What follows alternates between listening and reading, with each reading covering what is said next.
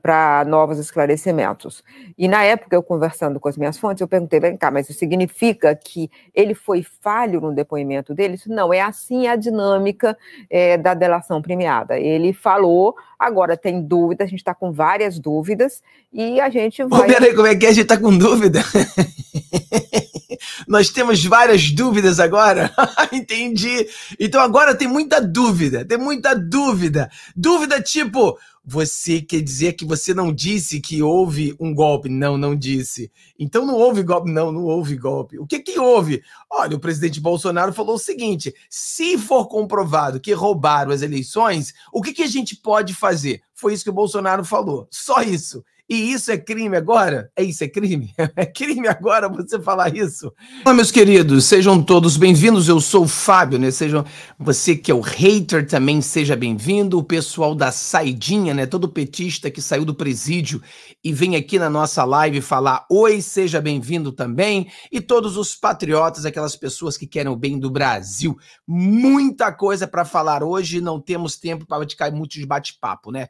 Vamos falar principalmente da questão do Alexandre de Moraes e essa o, o, a base né, da mídia. A mídia, eles tinham tudo para prender o Bolsonaro. Era o vídeo, aquele vídeo que vai mostrar tudo. Ou nós assistimos o vídeo e o vídeo não mostrava nada.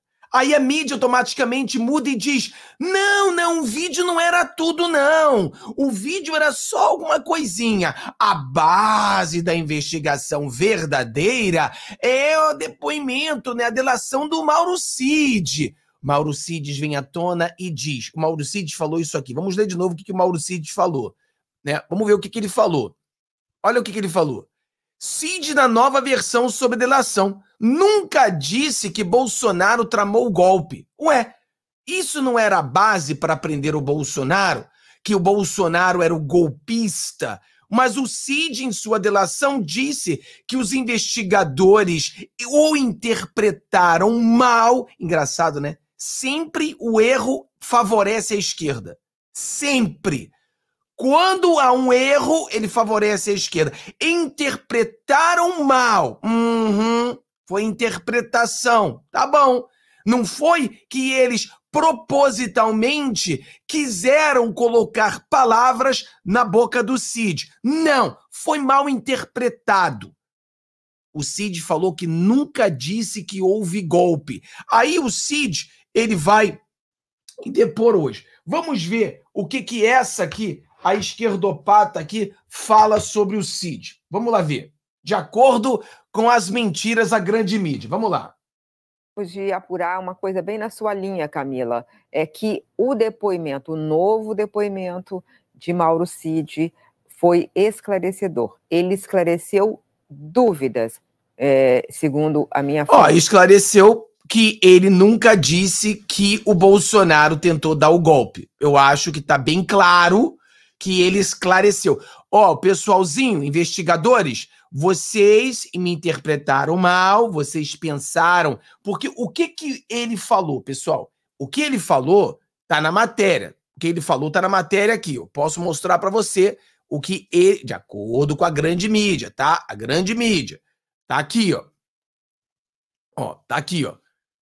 Tá tudo aqui. A gente pode ler depois. O militar contou aos investigadores. Olha só, o que eles entenderam queria pressionar as Forças Armadas para saber o que estavam achando da conjectura, da, da, conjuntura, e que soube que o então comandante da Marinha, Almir Garnier, anunciou com o golpe de Estado, anuiu com o golpe de Estado, colocando suas tropas à disposição do presidente. Isso foi o que a Rede Globo e companhia e os investigadores entenderam. O que verdadeiramente o ele falou? Não sou traidor. Nunca disse que o presidente tramou um golpe. O que havia eram propostas sobre o que fazer caso comprovasse fraude eleitoral, o que não se comprovou e nada foi feito. Isso foi o que ele falou. Então, quando a, a querida da esquerda aqui, a baba-ovo do Lula, ela diz que muitas coisas foram esclarecidas, eu tenho certeza que ele esclareceu isso, que ele nunca disse que Bolsonaro tentou dar um golpe. E falei para vocês, né? Se Bolsonaro tivesse tentado dar um golpe, ele teria dado um golpe. Não seria tentativa, seria um golpe. Mas vamos lá, vamos continuar lá. É, a fonte também disse que, mais uma vez, usou a palavra lacuna. A fonte, hein, pessoal? A fonte, hein? Vou começar a fazer vídeo assim também. Ó, oh, a fonte me disse. Né, que eu já ouvi de outras apurações, que ele preencheu lacunas e que é, esclareceu várias dúvidas dos investigadores. E aí eu quero explicar uma coisa. Eu tinha falado, quando eu trouxe a informação do que, que tinha dito o comandante, o ex-comandante do Exército, é, Freire Gomes, no depoimento dele, eu tinha dito que o Mauro Cid seria chamado novamente para novos esclarecimentos. E na época, eu conversando com as minhas fontes, eu perguntei, vem cá, mas isso significa que ele foi falho no depoimento dele? Isso não, é assim a dinâmica é, da delação premiada. Ele falou, agora tem dúvida, a gente está com várias dúvidas, e a gente vai... peraí, como é que é? A gente está com dúvida? Nós temos várias dúvidas agora. Entendi. Então agora tem muita dúvida, tem muita dúvida. Dúvida tipo, você quer dizer que você não disse que houve um golpe? Não, não disse. Então não houve golpe? Não, não houve golpe. O que que houve? Olha, o presidente Bolsonaro falou o seguinte: se for comprovado que roubaram as eleições, o que que a gente pode fazer? Foi isso que o Bolsonaro falou. Só isso. E isso é crime agora? É isso, é crime? É crime agora você falar isso? Pelo amor de Deus. Mas agora tem dúvida, tá bom? Fala, fala, querida. Fala, fala mais. Fala pra gente. Vai, fala. Agora, porque ouviu outras pessoas, vai checar ponto a ponto. E ele foi preenchendo essas lacunas e tirando essas dúvidas é, se, dos investigadores. Então, é, é nesse, nessa, nesse caminho mesmo que anda a investigação, está indo bem, tá avaliando, eles avaliam que está indo bem. A ideia é terminar no meio do ano essa apuração, essa investigação sobre é, as tentativas de golpe de Estado que foram, que tiveram a participação e a liderança do ex-presidente da República, é, Jair Bolsonaro.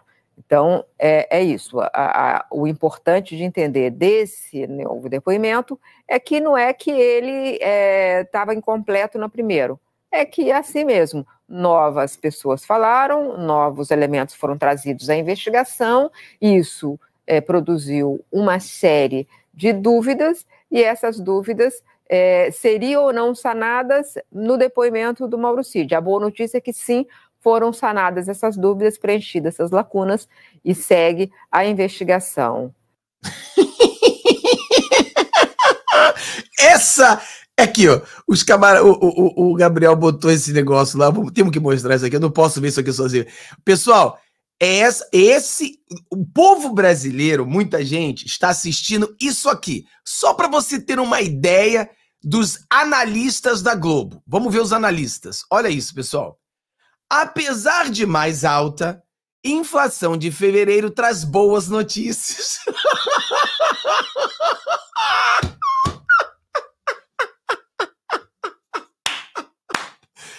você não tem como inventar uma porra dessa, mano. Você não tem como, não.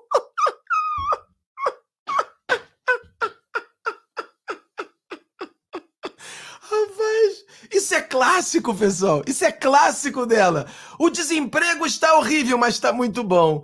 Tem, a Amazônia está toda em chama, mas não é tão ruim assim. Os índios na Nonami estão morrendo mais do que antes, mas é morte de amor. A inflação tá ruim, mas não é ruim assim.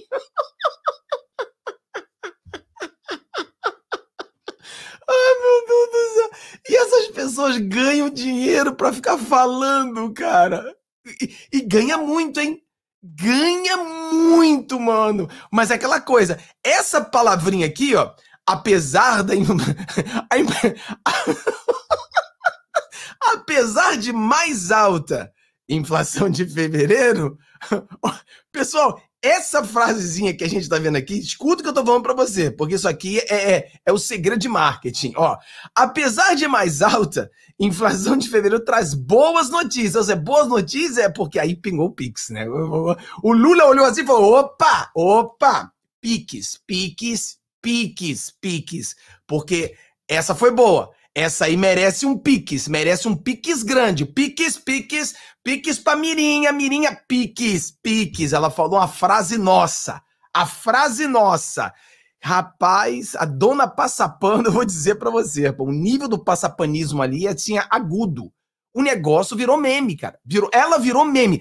Ela hoje é o meme, é a chacota do jornalismo mundial, porque no mundo não tem ninguém que consiga passar pano como ela. Ela é especialista em passar pano. É inacreditável, mano. O negócio assim é de outro nível. Então vamos lá. O Cid, como eu falei para você, ele falou isso aqui. Cid, na nova versão sobre a delação, nunca disse que Bolsonaro tramou o golpe. Vamos lá, vamos entender aqui rapidinho para a gente compreender e passar a bola para frente. Vamos lá, entender rapidinho sobre essa situação que a gente precisa, tem muita coisa para falar hoje. O Cid tinha dado um depoimento. E a Míria, a, a Tô Com Medo, toda a galerinha da Globo e da grande mídia falaram o que o Cid tinha falado. Aí, você sabe que é na internet as pessoas automaticamente já começaram a atacar o Cid, o Cid é traidor, o Cid é do mal, o Cid é petista, o Cid é comunista, o Cid é melancia, já começaram a atacar o cara. Aí o cara, ele apareceu e disse: Olha, eu não falei isso. Ou seja, a grande mídia mentiu, a fonte da Globo mentiu, dizendo que ele tinha dito que Bolsonaro tinha preparado para dar um golpe. E na fala do Cid foi: eles interpretaram mal. Não foi uma má interpretação. Eles simplesmente mentiram abertamente, exatamente porque eles querem criar uma narrativa, porque o que eles querem é prender o Bolsonaro. O que nós temos aqui é um exemplo de um teatro. Isso aqui é tudo teatro. Esse a Globo falando aquilo que a Suprema Corte quer que a Globo fale, os investigadores investigando e falando aquilo. É, existe, se você percebe, se você percebe, existe uma um, um acordo, um acordo. As falas são as mesmas. O investigador, a, a, a, a piada federal, a grande mídia, a Suprema Corte, todos estão falando a mesma coisa. Você viu quando eles falaram que a democracia americana não funciona mais, aí eles repetem a mesma coisa. Então, esse sim é o gabinete do ódio. Eles falam exatamente a mesma coisa. E aí, esse teatro que a polícia está investigando, o teatro de que a Globo notificando, o teatro que isso tudo vai ter, a investigação vai terminar no, no meio do ano e essa investigação do teatro vai ser entregue para a PGR, que é outro teatro, que vai entregar para o Alexandre de Moraes, que é outro teatro, que vão fazer um julgamento, que é o circo e nós seremos ali o bobo da corte que vamos ficar assistindo esse circo que eles vão fazer com o objetivo de prender o Bolsonaro. Mas tudo é um teatro.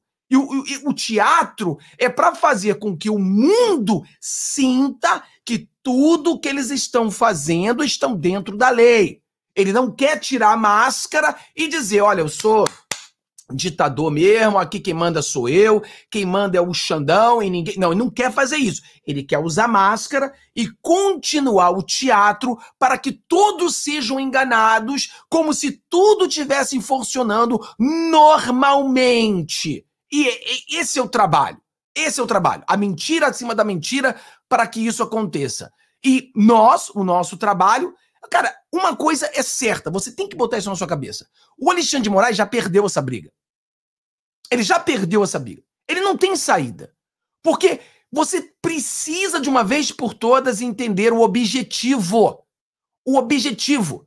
Várias vezes a gente debate sobre, por exemplo, a guerra do Vietnã. Quem ganhou? Foi o Vietnã ou foi os Estados Unidos? Ah, Fábio, quem ganhou foi o Vietnã. Ah, Fábio, quem ganhou foi os Estados Unidos. Quantas pessoas morreram no soldados do Vietnã? Quase 2 milhões. Quantos soldados americanos morreram? 50 mil. Ué, se 2 milhões quase soldados vietnamitas morreram e só 50 mil soldados americanos, então os Estados Unidos ganhou a guerra? Não. O objetivo da guerra era fazer do Vietnã um país livre. Se o país não foi livre, Estados Unidos não conseguiu o objetivo, então os Estados Unidos perde a guerra. A guerra ela é ganha ou ela é perdida através do objetivo da guerra, não quantas pessoas morreram. O objetivo dessa guerra contra o Bolsonaro é acabar com o bolsonarismo. E ele não acaba com o bolsonarismo. Não adianta. Ele pode tentar prender o Bolsonaro, ele pode até prender o Bolsonaro, mas o bolsonarismo não morre.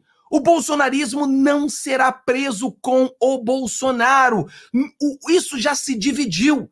O Bolsonaro não é mais um CPF, ele é uma ideia. Ele é uma ideia. Então, ele já perdeu. Alexandre de Moraes já perdeu essa guerra. Já perdeu. Daqui a 10 anos, nós continuaremos a falar sobre o Bolsonaro. Isso é fato. Então, a ideia está ali. E isso mata eles de raiva, porque eles sabem que perderam. E eles estão tentando recuperar, estão tentando fazer com que essa ideia não exista, mas eles já perderam, essa ideia existe. Ah, aí você vê jornalista, ah, o Bolsonaro é um zero à esquerda, aí você tem mais de um milhão de pessoas na Paulista. Nós vencemos o bolsonarismo, diz o Boca de Veludo. Só que nós temos um milhão de pessoas na Paulista. Como é que vocês venceram o bolsonarista, o bolsonarismo, se nós temos um milhão de pessoas na Paulista? Como é que isso é mesmo?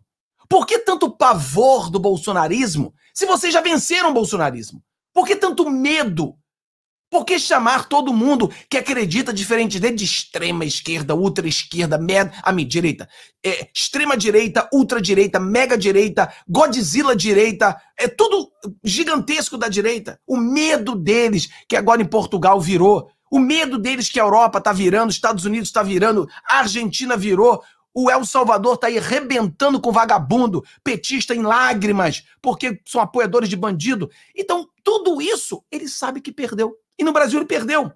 Ele não tem saída. Não tem o que o Alexandre de Moraes possa fazer para prender a ideia Bolsonaro. Não tem. Fábio, ele pode prender o Bolsonaro? Pode. O Bolsonaro cometeu algum crime? Não. Mas eles vão inventar, é um teatro das tesouras, vai fazer esse teatrinho até tentar prender o Bolsonaro. Mas a ideia não vai ser presa. A ideia vai continuar. E você vê hoje o, o, o Tarcísio se levantando com o, o grande defensor da direita futuro, indo para Israel, porque o Bolsonaro não pôde ir, o, o Tarcísio está indo. Tarcísio bateu de frente com a esquerdalha sobre a questão da polícia, mandou para o raio que o parta, não gostou, vá para o raio que o parta, mandou todos para o raio que o parta. Ou seja, o Tarcísio começa a entrar nessa posição, já começa o, a, as peças do tabuleiro mudando, mas você só vê o bolsonarismo crescendo. Então, ele já perdeu pode chorar, entendeu? Pode se espernear, pode arrancar o cabelo da careca, tirar o short pela cabeça. Cara, o Bolsonaro é uma ideia, o bolsonarismo é uma ideia e ele não será preso com se o Bolsonaro for preso. As pessoas têm que entender isso. Vamos lá entender aqui. Tem muita coisa pra gente falar hoje, pessoal. Segura a ponta aí. Segura a ponta aí que tem coisa demais pra gente falar hoje. Vamos lá. O pastor Silas Malafaias, que tem sido um gigante, né? Gigante ele falou algumas coisas. Falando em gigante, temos que dar crédito a quem merece, né? O Paulo Figueiredo, ele tem feito um trabalho extraordinário.